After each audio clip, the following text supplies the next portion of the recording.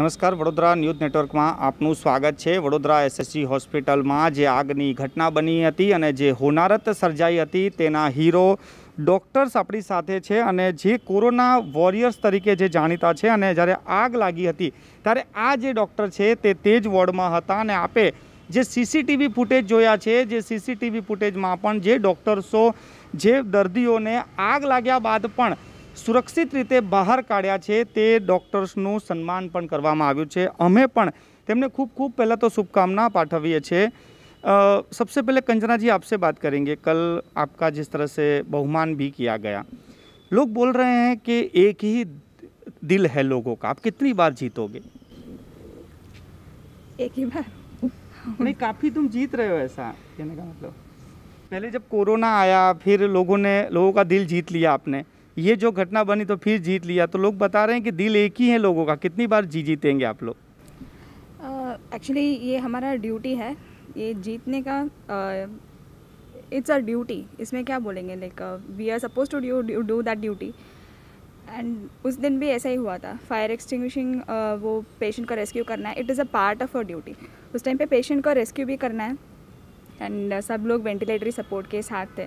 तो उन लोग खुद भाग नहीं जा रहे थे एंड बूढ़े लोग खाते थे एंड उस टाइम पे हम भाग सकते थे वहाँ से बट किसी का अ, मन में ऐसा नहीं आया दैट फर्स्ट हम निकलना है वहाँ से तो कितना हो सकते हम वहाँ से जो भी पेशेंट्स हैं तो उन लोग हमारे साथ ले गए थे वहाँ वो it's a part of a duty doctor સાહેબ તમે શું કહેશો જે રીતની ઘટના બની જે સીસીટીવી જ્યારે કેમેરામાં લોકોએ જોયા ત્યારે લોકોને લાગ્યું કે આટ- આવી આગ લાગ્યા બાદ તમે અ, લોકોને કેવી રીતે બચાવી રહ્યા હતા હવે આમાં તો અ, સૌથી પહેલાં તો બે વસ્તુનું આપણે ધ્યાન રાખવાનું હોય કે જે આગ લાગી છે એને અ, એટ- એટલી જ જગ્યામાં આપણે સીમિત કઈ રીતે કરી શકીએ છીએ અને બીજી વસ્તુ કે આપણે જે પેશન્ટ છે એ લોકોને સૌથી ઓછામાં ઓછી ઓછું ટ્રોમા થાય ઓછામાં ઓછી કેઝ્યુઅલ્ટી થાય એનું જ ધ્યાન રાખવાનું આ બસ આ બે પોઈન્ટ મારા મગજમાં હતા અને ડૉક્ટર કાંચના એક બાજુ પેશન્ટને ઇવેક્યુએટ કરતા હતા અને મેં ફાયર એક્સટિંગ્યુશર લાવીને ફાયરને એક્સટિંગ્યુશ કરવાનું અને તેને એ જ જગ્યાએ સીમિત રાખવાનું કામ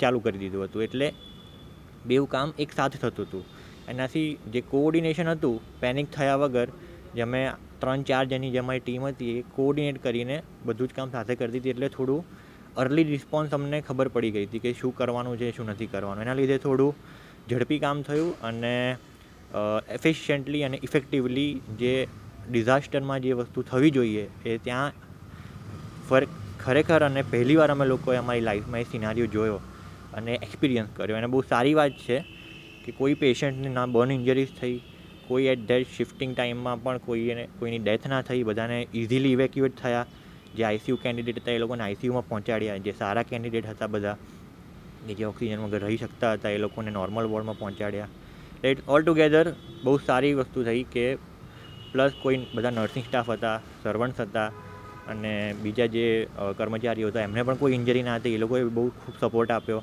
એટલે all together it was a without any injury અને સારી ઇવેન્ટ હતી કે અમારા અને પેશન્ટ પ્રત્યે. પણ અનફોર્ચ્યુનેટલી આવું બીજી કોઈ હોસ્પિટલમાં કે બીજી કોઈ જગ્યાએ ના થાય, એનું ખાસ આપણે ધ્યાન રાખવું જોઈએ.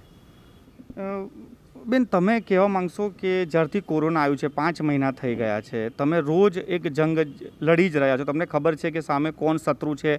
ખબર નથી. એ છતાં પણ, આ જે અચાનક આવી ઘટના બની ને તેમાં પણ તમે હીરો બનીને બહાર આવ્યા છો, કેટલો પરિવર્તન છે આ ઘટના પછી? People are recognising the efforts એ લોકો સમજી રહ્યા છે કે અમે જીવના જોખમે પેશન્ટ્સને ઇવેક્યુએટ કર્યા. બસ આ મેસેજ એ જ સ્પ્રેડ થાય કે આવી ઘટના થાય ત્યારે ગભરાઈ ના જવું અને પેશન્ટને બી સાચવવા, ખુદને બી સાચવવું અને બસ આવી રીતે આ ઇવેન્ટ આઈ થિંક આઈડિયલ હતો એક કમ્બાઇન્ડ એફર્ટ્સ હતા ટીમના અને સર્વન્ટ સિસ્ટર્સ બધા મળીને અમે રેસ્ક્યू કર્યા પેશન્ટ્સને સો अ, कंचना जी अ, जब आप इस ड्यूटी पर थे कोरोना की तो परिवार में से भी लोग बताते होंगे आस पड़ोस ब- बोल रहे होंगे कि बहुत रिस्की है आप उस वार्ड में हो जहाँ सबसे ज़्यादा खतरा है तो उसके बाद तो ये एक आग वाली घटना भी बन गई तो परिवार और रिश्तेदारों में से किसी के कॉल आए क्या क्या रिएक्शन है उसके बाद का क्या रिएक्शन है एक्चुअली वो पहले उस टाइम पे जब काम कर रहे थे पेशेंट का, हमको इतना एफ़ पता नहीं चल रहा था, ऐसा इतना बड़ा है करके। बाद में हम वो वीडियो फुटेज देखा, उस टाइम पे वी रियलाइज्ड बहुत बड़ा इशू तो हुआ है। उस टाइम हमको रियलाइज़ भी नहीं हुआ। तो बाद में अभी भी डर लग रहा है, उस सिचुएशन में कैसे हमने किया है। अच्छा हुआ, कुछ हुआ नहीं था। वो लास्ट पेशेंट्स जब हम केच रहे थे, उस टाइम ना आग पूरा इट्स लाइक ब्लैक हो गया था। लाइक इट हमको लगा ठीक है आज तो ये लास्ट डे है। ऐसा दिल में हमने सोच लिया पर फॉर्चुनेटली टाइमली वो बंद हो गया। एंड ऑफ़ कोर्स फैमिली से फ्रेंड से सबका कॉल आ रहा है। uh, सब लोग ने रिकग्नाइज़ किया हमारा स्टार्टिंग फ्रॉम आर टीचर्स यहाँ का डिपार्टमेंट हो and national level anaesthesia body में। एंड बड़े बड़े लोग सब लोग ने उन लोग ये रिकग्नाइज़ किया हमको अप्रिसिएशंस दे रहे हैं। एंड ये इट्स लाइक यंगर जनरेशन और नेक्स्ट जनरेशन और कहीं से भी, ये फायर तो कभी भी कहीं से भी हो सकता है। तो आई थिंक उस टाइम पे कैसे रिएक्ट करना है it will be a example and काफ़ी ट्रेनिंग ये सब करने के लिए शुरू करेंगे। और वेंटिलेटर्स और इलेक्ट्रिक बोर्ड्स और यहाँ पे पानी नज़दीक नहीं रखना एंड बहुत फ्रीक्वेंट ईजिली फायर हो सकता है। अभी देखे पता चल रहा है। तो और ध्यान रखना पड़ेगा। प्राइवेट हो और गवर्नमेंट हॉस्पिटल्स हो। रिगार्डिंग योर ऑक्सीजन सिलेंडर्स कहाँ रखना है? क्यों नहीं रखना है? एंड uh, सारे इट्स नॉट ओनली डॉक्टर्स और मोस्टली हम एनेस्थीसिया रेसिडेंट है तो हमको पता है इसमें में क्या क्या प्रॉब्लम्स हो सकता है। अभी ये देखे ऑलमोस्ट सिस्टर्स को भी वो पता चल जाएगा ऑक्सीजन वेस्ट नहीं होना है लेकिन इसलिए फायर कैच होगा। तो ये सब पर्टिकुलर मैसेजेस जो है पानी वहाँ पे नज़दीक नहीं रखना है electric boards unnecessary switch on नहीं होना चाहिए। वेंटिलेटर्स यूज़ हुआ तो ऑफ़ करना है। बहुत छोटी छोटी चीज़ है बट अगर नेग्लेक्ट हुआ it can lead into a big thing वो सिलेंडर्स भी है हमारा। रख, रखना पड़ेगा। अगर इलेक्ट्रिक सप्लाई कम है तो ऑक्सीजन सिलेंडर से सारे पेशेंट्स को वेंटिलेशन देना है। तो वो अवॉइड नहीं कर सकते। सिलेंडर्स को कहीं और नहीं रख सकते। वो तो नस्तिक ही रहेगा। बट वो प्रिकॉशंस वो कॉशियसनेस क्या क्या करना है, वो देख के uh, आई थिंक uh, और ध्यान रखना पड़ेगा। सब लोग रखेंगे आई होप સાહેબ? અમદાવાદમાં જે આગ લાગી હતી તેમાં જાણવા મળ્યું હતું કે પીપીપી કીટ હોવાના કારણે એમને પણ આગ લાગી ગઈ હતી. તો તમે પણ પીપી કીટ પહેરી હતી. તો એ સમયે વિચાર ના આવ્યો કે આપણાને એમના કરતાં મને જલ્દી લાગી શકે છે? હવે આ તો એવી એક સિચ્યુએશન છે ને કે તમે જ્યારે સામે આગ લાગતી જોતા હો ત્યારે તમને પ્લસ એઝ અ ડૉક્ટર પણ અમારી જે મેં જે આઠ વર્ષથી અમે લોકો જે ડૉક્ટરની પ્રેક્ટિસ રેસિડેન્સી કરી રહ્યા છે એમાં રિફ્લેક્સિસ આવી જાય અમારા. કોઈ બી ઇમરજન્સી થાય એટલે એ પેશન્ટને બચાવો સૌથી પહેલાં તો. એટલે એવો બીજો કોઈ વિચાર જ ના આવે અમને કે અમને શું થશે, શું કરીશું, અને આગ લાગી ગઈ તો શું કરીશું. એવું કોઈ વિચાર જ ના આવે સૌથી પહેલાં તો આગ લાગી છે એને બુઝાવો અને પેશન્ટ જેટલા પણ આજુબાજુમાં છે એ બધાને રેસ્ક્યુ કરો. સારી રીતે ઓક્સિજન સાથે. એ લોકોને બંસ ના થાય, એ લોકો સારી રીતે પહોંચી જાય બે તે બીજા વોર્ડમાં. એ જ પહેલું અમારું થોટ પ્રોસેસ હોય. એટલે આ એવું નહોતું કે આ અમે શીખેલા છે. કે પછી અમને આવી ટ્રેનિંગ બહુ મળી છે. આ બધી જે આઠથી દ, આઠથી નવ વર્ષ જે અમે આ ડૉક્ટરનું ભણ્યા છીએ, જે પેશન્ટ જોયા છીએ, એના કારણે આ બધા ઓટોમેટિક રિફ્લેક્સ ડેવલપ થયા છે. એટલે બહુ સારી વસ્તુ છે અને આ પ્રોફેશનમાં એ જ મોટો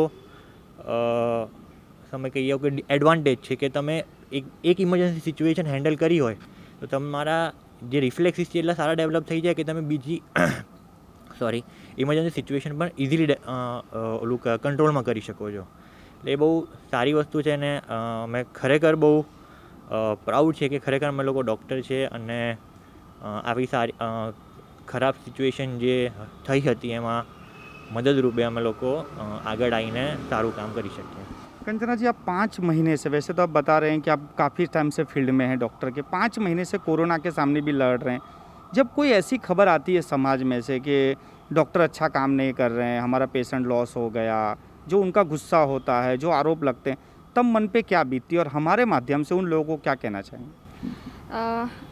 we will try to be neutral अगर अभी इतना अप्रिसिएशन क्रेडिट मिल रहा है, अगर ये नहीं मिला तो भी हम न्यूट्रल रहना है। अगर कोई पेशेंट अनएक्सपेक्टेडली और उनके बीमारी के वजह से उन लोग मर गया बट उन लोग अफेक्शन के वजह से पेशेंट के ज़्यादा प्यार होंगे, इसलिए उनके सगा झगड़ रहे वो सिचुएशन समझना चाहिए। पहले उनसे कम्युनिकेशन रखना है। उन मतलब ये सब क्यों हुआ? बहुत बार अच्छा कम्युनिकेशन अगर हुआ ना, ये प्रॉब्लम्स तो कम हो जाएगा। अगर कम्युनिकेशन मिस हो, वो क्यों मिस हो रहा है? ज़्यादा पेशेंट्स है। हम अच्छे से बात करने का टाइम नहीं मिलता है। इस, इसके लिए बहुत सारे मिसअंडरस्टैंडिंग्स होता है। तो उस टाइम पे अगर हमको बुरी तरह से किसी ने बात किया तो भी दिल में नहीं रखने का। अगर इतना अप्रिशिएशन आया देन ऑल्सो न्यूट्रल पोजीशन रहना है। तो ये चलता रहता है। एक दिन अप्रिसिएशन मिलेगा, दूसरे दिन, दूसरे मतलब you will not be appreciated in in fact you will be criticise so दोनों साइड में न्यूट्रल रहना है। तुम्हारा जो काम है वो करते रहना है। दिस इज़ माई मैसेज आप उसी पेशेंट को फिर मिले हो जिसको आपने रेस्क्यू किया था। उन उन पेशेंटों का क्या रिएक्शन है अभी? थैंक यू बोल रहे थे पेशेंट्स हाथ जोड़ रहे थे तो अच्छा लगता है कि हमने उनको रेस्क्यू कर दिया। छोड़ा नहीं हमने और हम भाग नहीं गए। तो ये मौका था कि आप अपनी जान बचा के वहाँ से भाग सकते थे। अ, हाँ भाग तो सकते थे गेट खुला था वी कुड हैव रन पर पेशेंट्स को अकेला छोड़ के और this is what we are suppose to do we can not leave our patients अगर वो मेडिकल इलनेस की वजह से भी सफ़र कर रहे हैं या फिर कोई नेचुरल डिज़ास्टर है दोनों ही सिचुएशन में being a doctor we can not leave our patients alone madam आखिरी सवाल आपसे कि जिस तरह से घटना बनी है आपके लिए तो आपने काफ़ी कुछ देख लिया लोगों को क्या मैसेज देना चाहें वन मैसेज बहुत सारे डॉक्टर्स के बारे में बहुत बार देख रहे हैं उन लोग फाइट हो रहा है उन लोग मार रहे हैं डॉक्टर्स को। In spite of this COVID duties उनको एक्चुअली पता नहीं चलता है हॉस्पिटल में क्या हो रहा है, सब लोगों को कितना मेंटल स्ट्रेस हो रहा है वहाँ पे। ड्यूटी करने में इतना इजी नहीं है, बहुत मुश्किल है। uh, पेशेंट्स के लिए भी सोचना है, हमारे बारे में सोचना है, हमारे रिस्क रख के वहाँ पे काम कर रहे हैं। तो दैट वायलेंस अगेंस्ट डॉक्टर्स अगर उतना बंद हुआ तो काफ़ी अच्छा है। That is my message sir તમારાથી છેલ્લો સવાલ કે જે એસએસજી હોસ્પિટલમાં એક મોક ડ્રિલ જેવું પણ રાખવામાં આવ્યું હતું, તમને ટ્રેનિંગ પણ ફાયરની લગભગ બધાને આપવા, એ કેટલી ઉપયોગી હતી આ આખા કાર્યક્રમમાં? એટલે અનફોર્ચ્યુનેટલી અમારી કદાચ તે ટાઈમે મારી એક્ઝામ્સ બધું ચાલતું હતું, એટલે અમે લોકો અટેન્ડ નહોતા કરી શક્યા. પણ જે સર્વન્ટ્સ હોય અને જે બીજા વર્કર્સે અટેન્ડ કરી હતી, એ લોકો પણ સારી રીતે એક્ટિવલી આ ફાયર એક્સટિંગ્યુશિંગ આખી જે પ્રોસેસ હતી, એમાં આગળ આવીને જે ક્વિક રિસ્પોન્સ કહીએ આપણે, એમાં ખરેખર બહુ મદદ મળી હતી. કારણ કે ફાયર એક્સટિંગ્યુશર લાગે છે એમ જોઈને આપણને સહેલું કે તમે એક પિન કાઢીને તમે ફટાફટ ઓલું બટન દબાવીને જે ફોર્મ છે બહાર નીકળી જાય. પણ ઘણા લોકોને, જે લોકોએ કોઈ દિવસ નથી જોયું હોતું, એ લોકોને ખબર જ ના પડે. એટલે જે પંદર, વીસ, પચીસ સેકન્ડ હોય ત્યાં મિસ આઉટ થઈ જાય અને લેગ થઈ જાય. એના કારણે કદાચ જે પાંચ, દસ સેકન્ડનો જે ફાયર હતો, થોડો આંખ પકડી, કદાચ આખા રૂમમાં ફેલાઈ જાય. એટલે કે એ જે ટાઈમ બચ્યો છે જે સર્વન્ટ્સોને ટ્રેનિંગ આપીને કે તરત ફાયર એક્સટિંગ્યુશર લઈને એ લોકો દોડમ દોડ આખા ફ્લોરના જે સાત આઠ ફાયર એક્સટિંગ્યુશર હતા બધા ફટાફટ લઈને આવી ગયા મેં સર્વન્ટો અને ડૉક્ટર કંચના બધાએ સાથે મળીને ફાયર એક્સટિંગ્યુશ કરવાનું ચાલુ કર્યું એટલે એ બહુ સારી વસ્તુ હતી કે ટ્રેનિંગમાં જે અ, જે સ્પીડથી કામ કરવું જોઈએ અ, જેટલી એફિશિયન્ટલી કામ કરવું જોઈએ અને જે ટેકનિકથી કામ કરવું જોઈએ એ શીખવાડ્યું હતું અને ખરેખર એ બહુ ઉપયોગી આવ્યું આ જે ડિઝાસ્ટર થયો એમાં. ઇટ્સ અ ગુડ થિંગ કે આવી ટ્રેનિંગ ચાલે છે. અને આગળ બી એસએસજી હોસ્પિટલમાં ઘણા બધા ટાઈપ્સની જે બધી ટ્રેનિંગ ફાયર એક્ટિંગ્યુશન ટ્રેનિંગ હોય પેશન્ટને રેસ્ક્યુની ટ્રેનિંગ હોય ટ્રોમા ટ્રેનિંગ હોય, બધી દર મહિને બે મહિને ચાલતી રહેતી હોય છે. એટલે it it's a good thing that જે નવા નવા જે ડૉક્ટર્સ બની રહ્યા છે, જે સર્વન્ટ જે નવા નવા એરિયા છે, એ લોકોને આવી ટ્રેનિંગ આપો. આ જે આગળનો ડિઝાસ્ટર થાય છે એને પ્રિવેન્ટ કરી શકાય. અથવા તો થયો હોય તો એને ઓછામાં ઓછો કઈ રીતે થાય એમાં મદદ કરી શકાય. ખૂબ ખૂબ આભાર તમારો. ત્રણ લોકોને ખૂબ ખૂબ શુભકામનાઓ. આ સરસ કામ બદલ અને સમાજને એક નવી દિશાવા, દિશા બતાવવા બદલ. કહેવાય છે કે ધરતી પર ભગવાનનો અવતાર એક તબીબ હોય છે અને આ ઘટના બાદ તબીબોએ ફરી વખત એ પુરવાર કરી દીધું છે કે માત્ર સારવારથી નહીં, પરંતુ આવી કોઈ ઇમરજન્સી ઘટના બને ત્યારે પણ તેઓ દર્દીને છોડતા નથી ને દર્દીને જીવ બચાવવા માટે પોતાનો જીવ પણ આગળ ધર- દેતા હોય છે. સૌ કોઈ જાણે છે કે માણસ સૌથી વધારે જો કોઈને પ્રેમ કરતો હોય તે પોતાના જીવને કરતો હોય છે, પરંતુ આ લોકોએ પોતાના જીવને જોખમમાં મૂકીને બીજાના જીવ બચાવ્યા છે. તેટલા માટે જ આવા જે તબીબો છે તેમને ધરતી પરના ભગવાન કહેવામાં આવે છે.